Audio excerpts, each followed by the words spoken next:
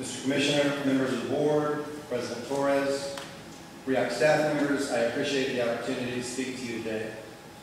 You've heard a number of viewpoints today about the selection of RIOC directors. The point I want to make about this issue is this.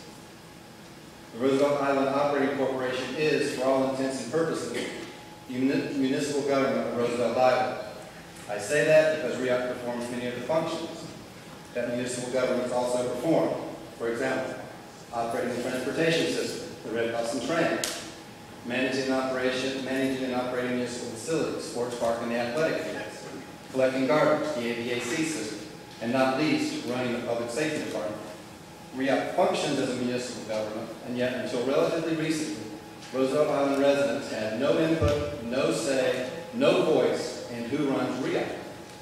We acquired that voice when the elections were held that led to the current makeup of the board. In his latest appointment to the board, however, Governor Cuomo not only didn't consult island residents, he didn't even consult our elected representatives. Some people may say that what the government and the legislature did was legal, that it was according to the law. But just because it was legal doesn't make it right. What would be right is for Dr. Ferrera to give up his seat on the board until he stands for election by island residents. What would be right is for the governor to appoint directors that residents have chosen.